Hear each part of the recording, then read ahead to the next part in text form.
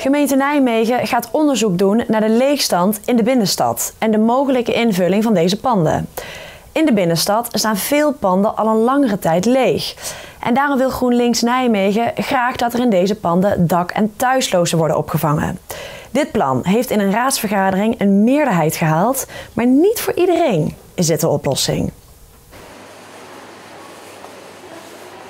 Nou, qua winkelpanden gaat het om 50 langdurig leegstaande panden. En dat wisselt natuurlijk een beetje nou, hoe, de, hoe de economie gaat. En wat we eigenlijk vragen aan het college is om samen met de eigenaren van die panden te kijken of zij die panden die lang leeg staan kunnen gebruiken. Misschien tijdelijk voor de huisvesting van bijvoorbeeld dak- en thuisloze mensen. Maar ook voor ateliers en andere functies die uh, nou, de bruisende binnenstad of de bruisende stad maken. Het lijkt ons geen verstandig idee. Dit is een winkelgebied. Uh, dat moet een prettig uh, verblijfsgebied zijn. Uh, dat moet kunnen bruisen.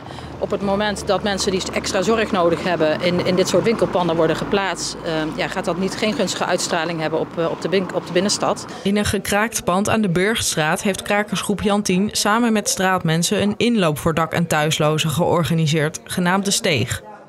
De krakersgroep en daarmee ook de inloop hebben het pand recent verlaten. Maar maandenlang was dit een plek waar dak- en thuislozen terecht konden. VVD Nijmegen heeft vernomen dat meerdere ondernemers in de binnenstad overlast ervaren van dak- en thuislozen. Uh, mensen hebben aangegeven dat er veel last was van, van drugsgebruik, uh, dat er veel gebloot werd voor het pand en in het pand en dat er veel uh, gedronken werd. Um, voorbeelden daarvan zie je bijvoorbeeld ook in de Van Welderenstraat, waar ondernemers echt behoorlijk klagen over de overlast van, van dak- en thuislozen. Ik heb er zelf geen klachten over gehoord. Het enige wat ik heb gehoord is van dak- en thuisloze mensen zelf die zeggen dat ze het heel fijn vonden om eindelijk een warme plek te hebben, waar ze gewoon heen konden, waar ze konden uitrusten, waar ze veilig waren met name. Want de veiligheid van ook die mensen is een geding. Maar we moeten echt oppassen dat we gaan uh, zeggen dat dak- en thuisloze mensen altijd leiden tot overlast, want dat is gewoon niet de realiteit. Over het plan van GroenLinks zegt Jantien het volgende. Jantien is voorzichtig positief dat er stappen worden gezet door de gemeente om leegstand tegen te gaan. Onze instelling is wel eerst zien, dan geloven. Wij zullen met een diversiteit van acties druk blijven uitoefenen op grooteigenaren en de gemeente om leegstand verder aan te pakken. De VVD wil liever dat er eerst onderzoek gedaan wordt naar de oorzaak van de leegstand. Wordt Nijmegen minder aantrekkelijk om te vestigen?